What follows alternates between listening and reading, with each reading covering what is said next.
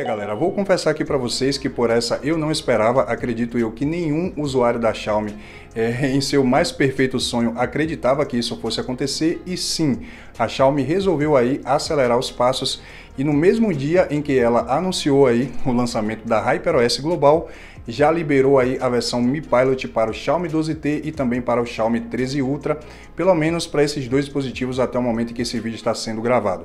Acredito eu que até o final do dia aí deve sair para mais dispositivos, Xiaomi 13, enfim galera.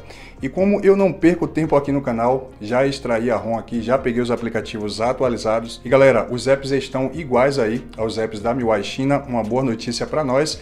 E nesse vídeo aqui, em primeiríssima mão, já merece o seu like, temos aqui o um novo aplicativo de segurança da HyperOS Global. Então já desce o dedo no like, fortalece o conteúdo aqui do canal para que o YouTube entenda que esse conteúdo é relevante e recomende para mais pessoas. Sem muita enrolação, vamos aqui para o que de fato interessa e temos aqui o um novo aplicativo de segurança da HyperOS totalmente em português do Brasil, tudo traduzido aqui como vocês estão vendo. Vamos entrar aqui na aba de bateria e aqui nós temos o mesmo layout e as mesmas opções aí do aplicativo de segurança da versão chinesa aqui nessa parte. Modo desempenho, modo modo balanceado, economia de bateria e ultra economia de bateria.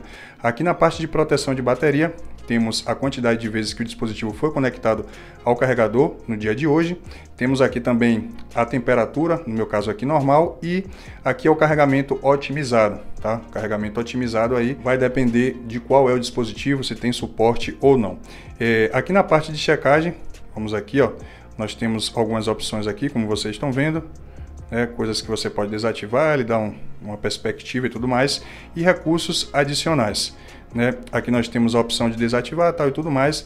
Essa parte aqui não está totalmente igual aí o da versão chinesa, tá diferente, não tem a parte ali de, de desconectar automaticamente é, e tudo mais, mas sempre vem alguma coisa a menos, já é normal aí na Xiaomi. Aqui nós temos a parte é, da exibição aqui dos aplicativos, o quanto cada aplicativo é, consumiu aqui. Não temos o tempo de tela, como anteriormente aí, deve ficar lá na parte do bem-estar na versão global. E aqui abaixo nós temos esse novo menu, galera, né, com os atalhos aqui, recursos comuns, e aqui você pode clicar no lapisinho e editar aqui a ordem dos atalhos, assim como incluir ou excluir, né? À medida que você clicar aqui, ele será excluído. Quando você clicar aqui em adicionar, vai vir para a ordem exatamente é, no que está faltando aqui. Tá? Então você pode é, customizar isso aqui, digamos assim, clica aqui e vai ficar na ordem é, que a gente colocou. Temos aqui limpar WhatsApp, Game Turbo, lista de bloqueio, testar rede, segundo espaço, limpar Facebook. E aqui na parte de baixo temos alguns recursos como experimente utilizar o segundo espaço,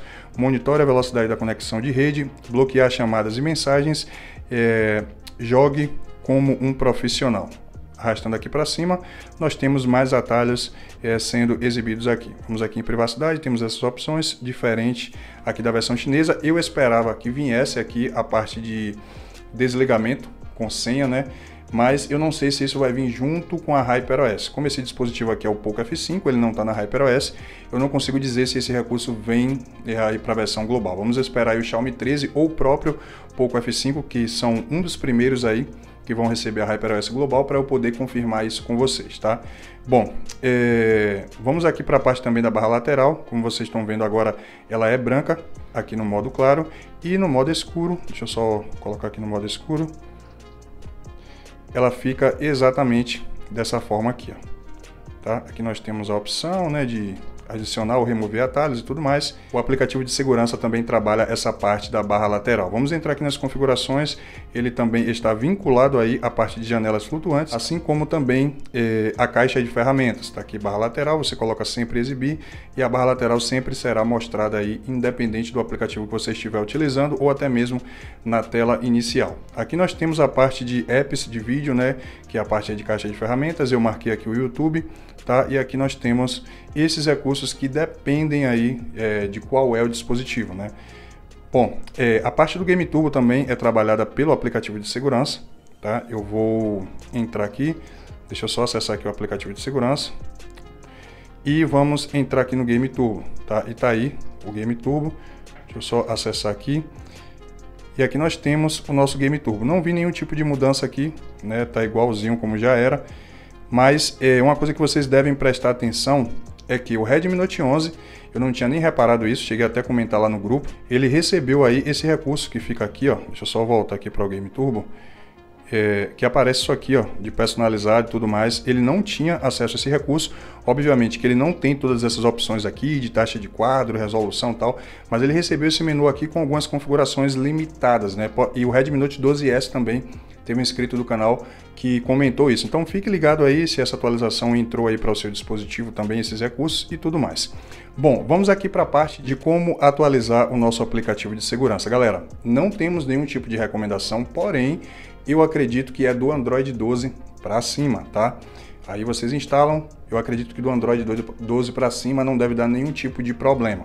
Mas fiquem atentos à temperatura durante o uso, se o dispositivo está ficando lento, se está esquentando tudo mais, porque tem que monitorar isso aí, porque o aplicativo de segurança, se tiver mal otimizado, pode acontecer de esquentar o dispositivo, ficar travando e tudo mais. Então fique, fiquem atentos a isso, tá? É, aplicativo aqui atualizado e você já vai ter é, todo esse novo layout aí, tudo que eu mostrei aqui para vocês, tá?